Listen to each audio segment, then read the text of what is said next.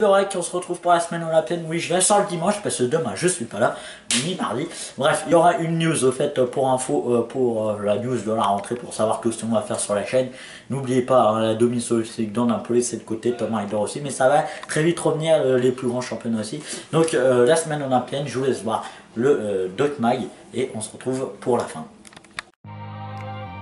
Alors les amis, donc il y aura encore qu'une seule partie, pas de transfert. Donc on va parler euh, maintenant de... Euh, bon, on va pas reparler des affaires de Bruno Genesio, mais on va parler de la prolongation de notre ami Tanguy Ndombele, des résultats de euh, l'académie et aussi des résultats des filles qui vient de se terminer au moment où j'enregistre la vidéo. Et, et des garçons, des masculins professionnels. Donc on va plus parler des professionnels masculins sans être sexiste. Donc euh, voilà.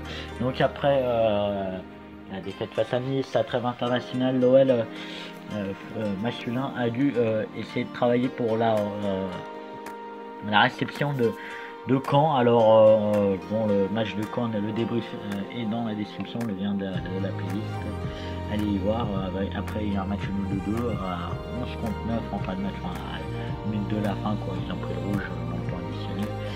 Mais autrement, voilà, pour moi, c'est comme une défaite. Donc euh, lundi, c'était entraînement à 8 clos à 10h30. Pareil, mardi à 10h30 à 8 clos. Mercredi, entraînement à 10h30 à 8 clos. Jeudi, entraînement à 10h30 ouvert au public.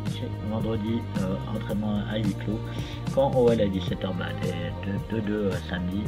Et dimanche, entraînement à 10h30, c'était à confirmer, savoir si c'était à 8 clos ou ouvert au public. Je n'ai pas eu ces infos-là. Donc euh, prolongation de Tanguy Ndombele qui prolonge d'un an, enfin à mon avis c'est pour, vous savez comme on est obligé de prolonger, euh, de prolonger quand on a une augmentation de salaire, c'est pour ça aussi à mon avis. Euh, parlons des adversaires de l'OL en, Ligue des Champions.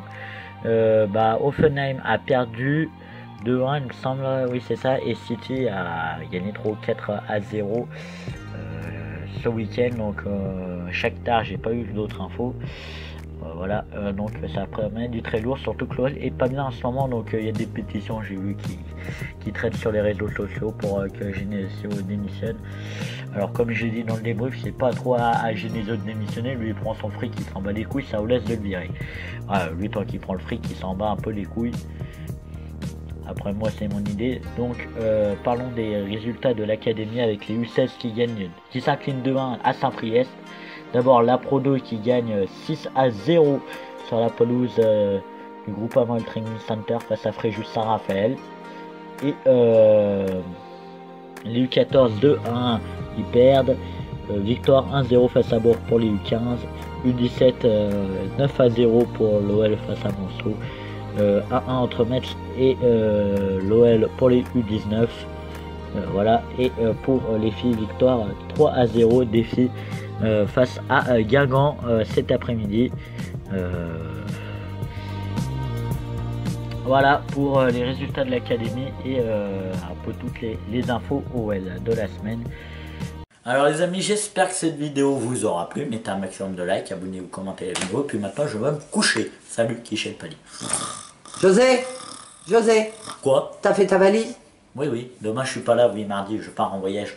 Mais euh, n'oubliez pas, mettez un maximum de likes et le retour du rugby. Oui, le rugby avec mon paille. Allez, je vous laisse. À la prochaine. Je vais dormir.